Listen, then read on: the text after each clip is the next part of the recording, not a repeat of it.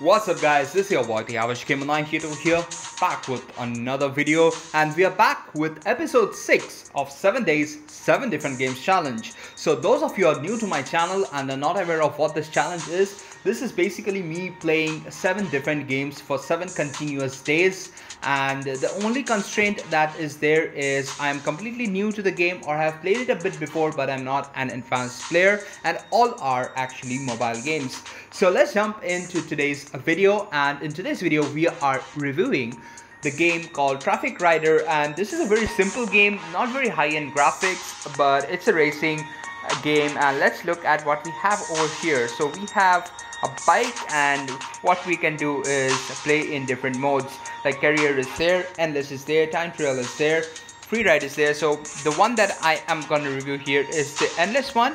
So what do we do here is use the different bikes and scooters that are available and uh, we can race away and this is how we play. So this is an acceleration that is there. We also have the brakes on the left hand side. So this is the brake which slows us down and we can press on the acceleration and it speeds up.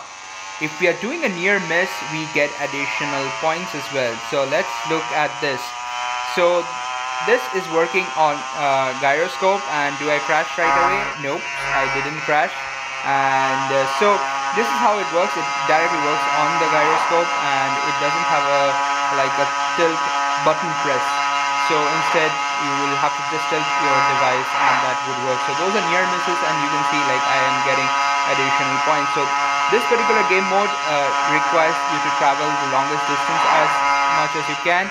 And here I've just left the acceleration and I was good to go so high speed maintenance gives you high speed is above 100 kilometers per hour here so once you do that high speed like I mentioned you get bonus points and in the end, if you end up crashing though, that's a different scenario. That car was changing lane, so you had to dodge it there.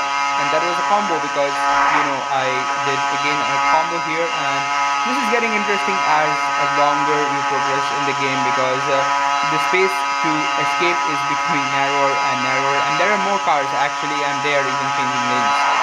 So definitely an interesting, uh, fun ride here. This is the endless mode, so I'm gonna crash on purpose because I want to show the other modes. So here I'm crashing on purpose and this is what we see.